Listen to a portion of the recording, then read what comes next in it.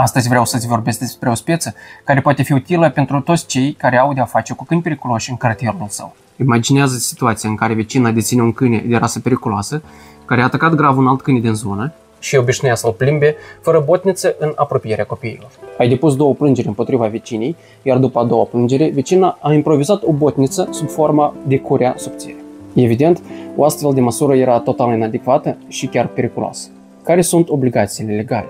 Conform regulamentului privind întreținerea animalelor de companie în Chișinău, câinii de rase considerate periculoase trebuie să fie preîmblați obligatoriu cu botniță și lesă scurtă. În caz contrar, proprietarul riscă sancțiuni legale. Botnița improvizată nu este recunoscută legal, iar nerespectarea normelor privind siguranța publică poate fi sancționată. Ce poți face în astfel de cazuri?